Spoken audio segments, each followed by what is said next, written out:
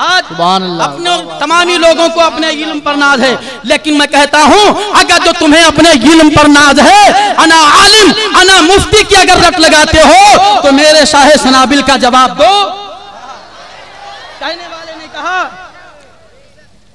कि चंद फतवे लिख के तुम मुफ्ती आज़म मत बनो। बहुत क्या बात है। चंद फतवे